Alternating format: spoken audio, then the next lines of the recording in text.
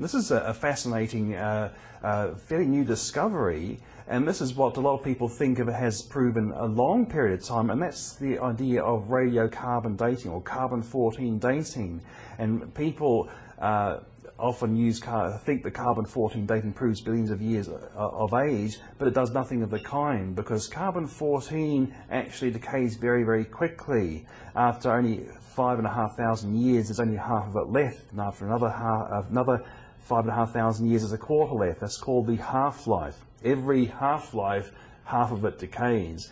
So if it's over about 100,000 years, there should be no carbon-14 around. And yet uh, we've found carbon-14 in uh, coal and diamonds, which we've been told was billions of years old, yet we're finding carbon-14 in these things, which show it can't be that old because it would all have gone by now.